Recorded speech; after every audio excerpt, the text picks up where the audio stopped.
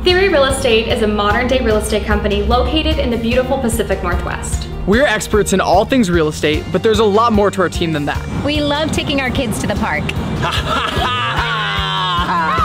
we might love coffee a little too much.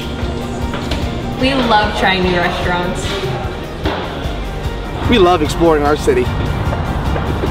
We are new parents. We are veterans. We love running. Hmm, not everyone loves running, but we love taking walks in the park. We love to go kayaking. Come on out, the water's great. Riding scooters! Woo! Going for scenic walks with our family.